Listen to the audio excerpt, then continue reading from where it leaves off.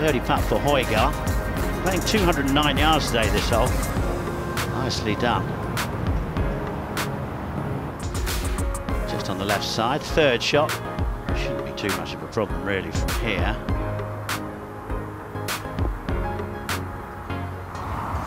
I've got Rasmus here, 128 yards out the right rough. Tight pin on that right hand side.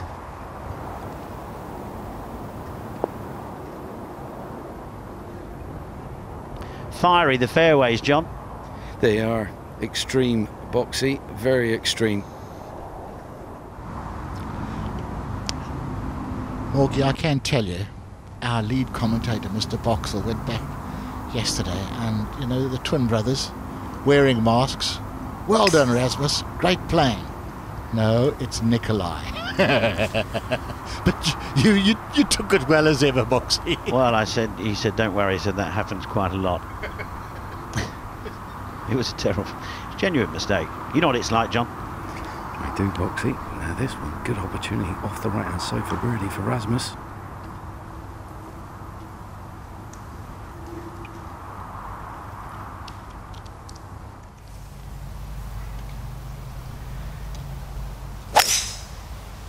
Yeah, me hole this one. Go get him this 15th, just over 400 yards. And there you go, position eh, for Rasmus Højgaard.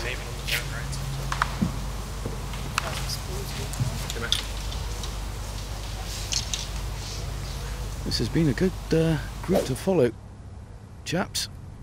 Birdies galore, left, right, and centre.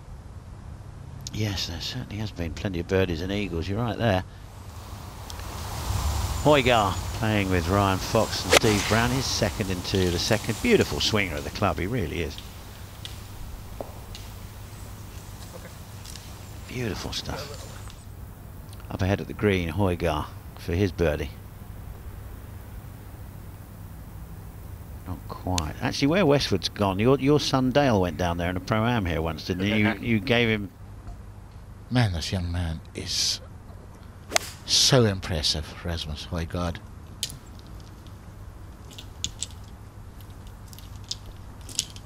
Oh, and again there, there's the well potential parachute shot, shot coming up here for Rasmus Højgaard over the green, short-sided. Anything a little bit heavy will be down the hill away from him. That was always the threat, boys. Absolutely. And you know, in, every time you're around one of these greens below the green in that fluff, you've got a, a handful of options. You had to. Yeah. He pretty much had to pitch it where his ball is, is, is now, where he's chipping it for his par down the slope off the left.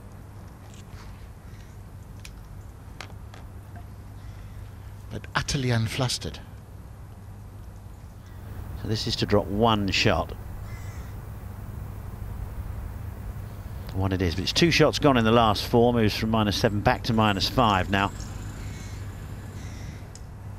Finding the front of the green at the 17th, not looking to hold this, he's just looking to two putts and run to the 18th. Beautiful. He was fantastic. He putted brilliantly last week with the long putts, and again he's Yeah, beautiful finishing hole. Rises up to a beautiful green and three separate tiers. So it's all about the drive, getting that fairway.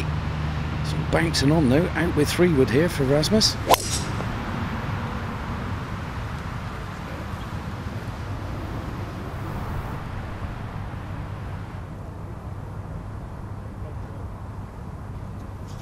And you get you getting that stuff down there, John. It's so fiddly, isn't it?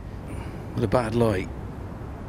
This stuff down the right hand side, grass going with for Rasmus Højgaard. Pin tucked on that right hand side, just over the bunker. 85 yards he's got. Also going left, also trying to use the ridge to bring it back, and it will eventually head back down the slope.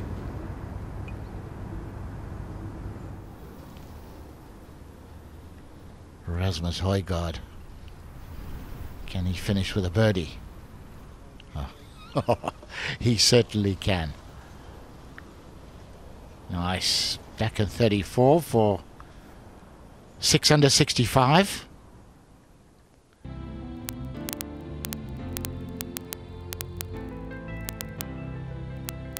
Rasmus, 65, how good does that feel?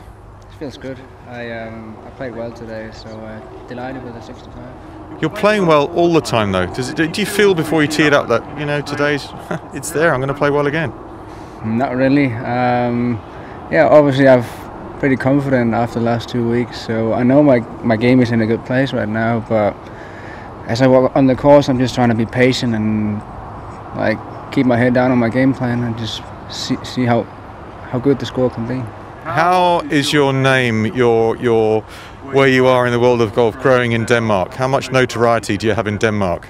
Because it's pretty unusual. Two twins, you and Nicolai, doing what you're doing. Yeah, uh, yeah. I mean, obviously our names are getting bigger and bigger in, in Denmark right now, and um, a lot more people like um, like know know who we are now. So um, yeah, it's it's a funny one.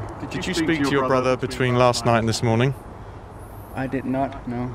So, in terms of knowing who you are, our commentator Richard Boxall was out in the car park stretching his legs last night, and he thought he was talking to you because your brother Nicolai had a mask on. He said, "Well played, Rasmus. You're playing some great stuff." And Nicolai said, "No." He said, "I'm not Rasmus. I'm Nicolai." He said, "Oh." He tried to recover, and he said, "Oh, but you're the best of the two. And he said, "Well, no." He said, "No, not really. You could hear the sound of Boxall wincing from the lobby of the hotel. You could actually hear the sound of what wincing sounds like."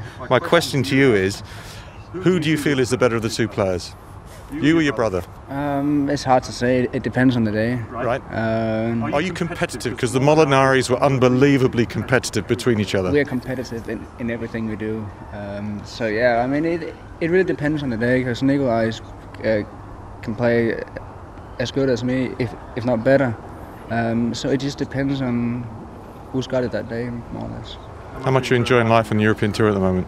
Yeah, it's good. It's uh, it's good to be back. Um, yeah, I'm, I'm really enjoying it. It's fun to watch you. Well played today. Thanks. To watch another European Tour video, click here, and to subscribe, click here.